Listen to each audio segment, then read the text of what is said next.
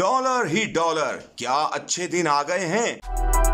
State bank of Pakistan ने अवाम को बड़ी खबर सुना दी। पाकिस्तान के जर मुबादला जखायर में 9 करोड़ 30 लाख डॉलर्स का इजाफा हो गया।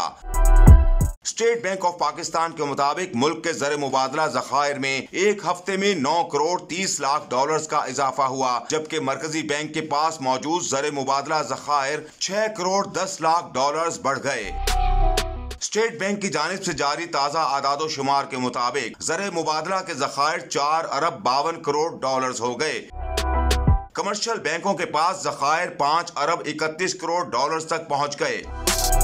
स्टेट बैंक के मुताबिक मजमू जर मुबादला जखायर नौ अरब तिरासी करोड़ डॉलर की सतह पर पहुँच गए। बैंक जराये के मुताबिक आई एम एफ़ ऐसी मिलने वाले एक आशारिया दो अरब डॉलर सऊदी अरब और यू ए से मिलने वाले डॉलर आइंदा हफ़्ते जखायर में ज़ाहिर होंगे।